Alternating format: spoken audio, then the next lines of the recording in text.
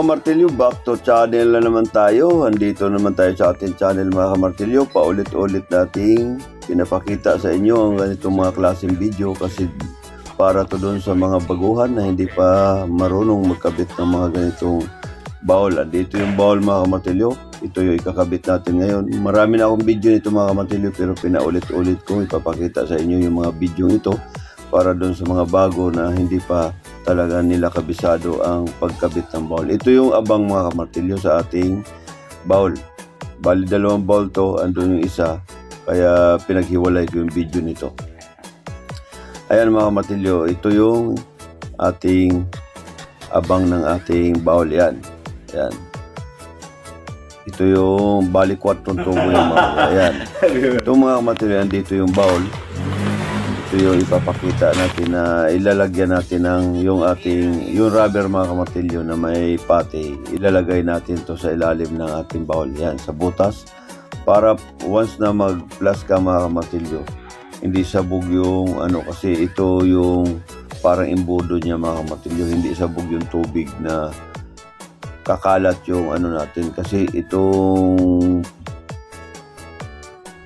itong imbudo na ito kamatilyo, bali yun yung pinaka-imbudo dun sa butas ng ating baon. Kaya kailangan ikabit nyo ito kamatilyo, huwag nyo kalimutan na hindi nyo ikakabit para yung pag nag-plus tayo, hindi sabog yung tubig sa ilalim.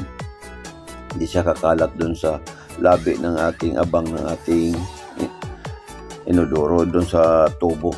Ayan mga kamatilyo, yan.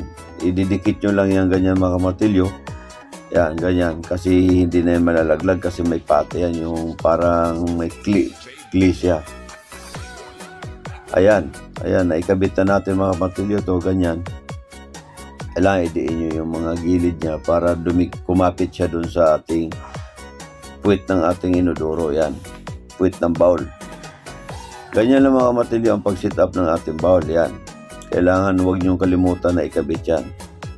Once na maikabit nyo mga kamatilyo, ganyan, lagyan nyo na ng semento yung ating dun sa abang ng ating paglalagyan, dun sa abang na PVC, dun sa tiles, lagyan nyo na ng semento. Habang pinapatigas nyo yung ating imbudo ng ating bowl. Ayan mga kamatilyo, na ilan. Maglalagay na tayo ng ano, ng simento dito sa ating paglalagyan ng bowl. Ayan mga kamartilyo, may guhit yan mga kamartilyo, ginuhitan. Ba, hindi ko lang na-video yung pagguhit mga Kailangan may guhit yan mga kamartilyo ha. Pa cross yung guhit ng ating dyan sa pinakabutas, maguguhit kayo yan. Tapos mga kamartilyo, nalagyan nyo na ng halo, lagyan nyo ng purong simento, ganyan. Para mabilis siyang tumigas yan. Pag tumigas na yung mga kamotor, bago nyo yung sakto na tigas, bago nyo ipapatong yung ating inodoro. Ayan, ipapatong na natin yung ating inodoro. Ayan mga matilyo, bali malaking inodoro to. Mahirap mang ng isang tao na bubuhatin kaya nagpatulong ako mga kamatilyo na mabuhat yung ating inodoro kasi mabigat. Ayan. Minsan mga kamatilyo, nagkabit ako nito. Bali, ako lang mag-isa pero hirap na hirap akong buhatin delikado may posibilidad na baka madulas yung inyong kamay, malaglag yung inodoro, mababasag. Kaya kailangan kung doon sa mga baguhan, magpaalalay kayo kung sino yung pwede nyo ipaalalay pagbuhat. Kasi mabigat itong mga kamartilyo. Itong, ito yung inodoro mga kamartilyo na with tang, yung kasama yung tangke niya. Kagaya ng mga kamartilyo, pag na-sit up na ninyo ganyan, kailangan sisintruhan nyo doon guhit nyo, libilan nyo, ganyan kailangan libilan yung mga martilyo, i-pantay, kailangan nakalibil siya o umangat man konti yung harap, okay lang. Basta wag magsubsob, wag, wag matuwad yung ating harap ng ating inodoro. Kailangan nakalibil, pantay lang. Ayan. Sa gilid, pantay. Sa harap, pantay. Ganyan lang. Di bali umangat konti yung harap, wag lang sumubsob kasi mahirapan mag-plus yan mga matilyo. Mapupuno muna ng tubig yan bago siya bumaba.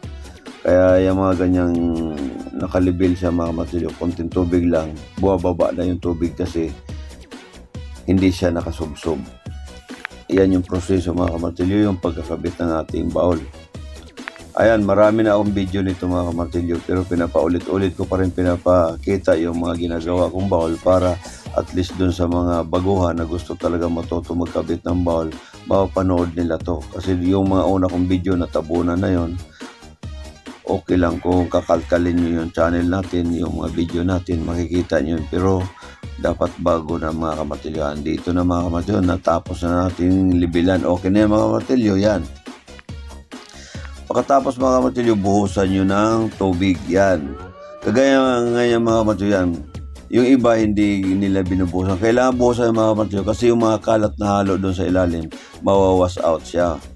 Mawa, matatanggal siya. Kasi pag hindi nyo binuhusan mga kamatilyo, titigas yung halo. Yun yung sasabitan ng mga tissue. Pag nag-plus kayo ng tissue, dun yung sumasabit sa mga simintong kalat-kalat sa ilalim kasi matigas na yun. Yan, kailangan nyo talaga mga matilyo buhusan nyo ng tubig. Ayan mga matilyo, nabuhusan natin ng tubig. Maghintay na lang tayo mga matilyo. Pag natigas yung ating simento yan, tatanggalin na ninyo yan. Kakat, ikakat nyo yan, lilinisin nyo bago natin yan. Kagaya niyan mga matilyo, natanggal na natin yung mga simentong sobra dito sa gilid. Pagkatapos ng mga matilyo, igagrout na natin yan. Ayan mga matilyo, may grout na yan. Kaya di ba malinis na mga matilyo. Yun ang proseso ng ating ball mga matilyo. Kailangan naka-grout na yan. Ayan, may grout na yan. Pinakita ko sa inyo mga yan, di ba? Malinis na. Ayan. Tapos na mga kamartilyo natin malagyan ng grout. Okay na mga kamartilyo yung ating bowl.